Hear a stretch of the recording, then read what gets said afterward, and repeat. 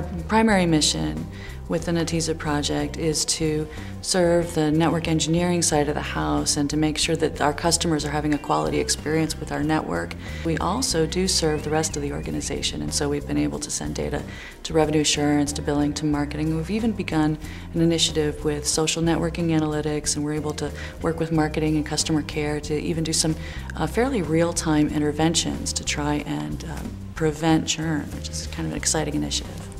Everything that we do with Netezza pretty much was impossible before. It was a complete change in our experience of data warehousing when we moved to Netezza. Um, we were not able to do nationwide searches before or any kind of aggregations at a whole network level. That was just inconceivable. So we're able to do that now in, you know, just seconds in, with a Netezza, and, and that's changed everything for us. We were replacing a 40 terabyte Oracle system, and we replaced it with a 100 terabyte 10800. As we scaled from 100 terabytes to 200 terabytes to 500 terabytes to petabyte, and now to petabytes, we still have the same team.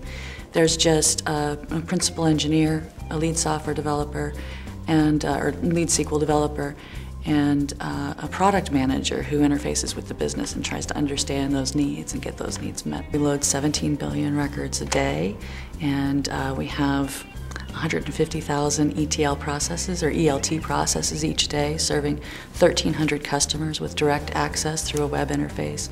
And all of these things are maintained by a very tiny team within a department, within an organization, under the umbrella of T-Mobile. There was a, a, family stranded off the coast of Miami, and they were just out there. Their boat had capsized, and in the process of uh, the capsizing of the boat, they got one phone call out, but um, you know when your phone is wet, it powers off. There's there's nothing you can do. We were able to assist the Coast Guard in tracing the last tower that that call was um, made from, and able to to give an area where that boat was capsized. Otherwise, the search uh, could have taken many more hours.